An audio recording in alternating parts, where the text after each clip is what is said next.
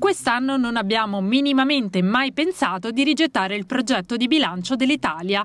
Lo ha dichiarato il commissario europeo agli affari economici Pierre Moscovici, interpellato sulla manovra italiana nel corso della conferenza stampa di presentazione delle previsioni economiche autunnali dell'Europa. Dopo aver detto che non intendeva commentare sui conti pubblici, Moscovici ha però voluto affermare. Non, il n'y a pas de poids de mesure.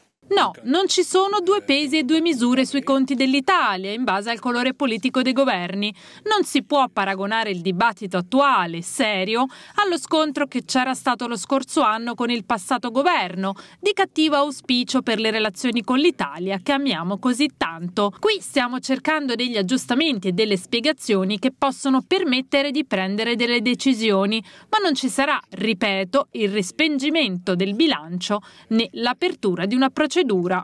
Poi, dato l'elevato debito pubblico del Paese, allentare la pressione sul risanamento dei conti sarebbe esattamente l'opposto di quel che va fatto in Italia, ha aggiunto Moscovici, ribadendo.